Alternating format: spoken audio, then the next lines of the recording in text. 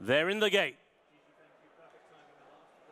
And they're off in the Coral Eclipse. Uh, Addeybb is the one who breaks the line first, and he goes on by a length. With head bowed, Mishriff is racing in second a length and a half away, St Mark's Basilica in third, and then a further couple of lengths to a restrained El Drama at the back of the classy field of four at the end of the first furlong and a half in the Group 1 Coral Eclipse. And it is Addeybb. The lead is three parts of a length over Mishriff, who races keenly in second position two lengths away. St Mark's Basilica is in third. As they go towards the final seven furlongs, there's a further two lengths back to Andrea Atzeni on El It is still Addeybb and Tom Marquand out in front. Still there on the outside is Mishriff and David Egan racing in second. A further length and a half to Ryan Moore and St Mark's Basilica and El Drama still at the back of the quartet as they're about to leave the back straight behind them as they go towards halfway in the Coral Eclipse and it is Addeybb who has the lead, and he's opened up a lead now of a length and a half to Mishriff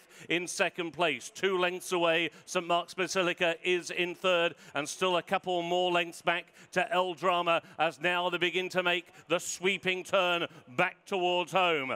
Addeybb still has the lead. The lead is just half a length now to Mishriff in second, and then about two lengths back to St Mark's Basilica, who gets a shake of the reins now from Ryan Moore. El Drama still at the back of the field as they race now inside the final three furlongs. Addeybb now being urged for more by Tom Marquand towards the outside. Mishriff has travelled powerfully into the race. They come down towards the final quarter mile and Mishriff goes for home. St Mark's Basilica, the three-year-old, will attack now towards the near side. Addeybb tries to hang tough towards the far side. St Mark's Basilica goes on with a furlong to go. St Mark's Basilica going clear now by three widening lengths. Mishriff and Addeybb have been simply turned away. It's going to be four straight Group 1s for St Mark's Basilica and a record equaling win for Aidan O'Brien, his fifth in the Coral Eclipse. It was the brilliant three-year-old St Mark's Basilica who won the Coral Eclipse of 2021.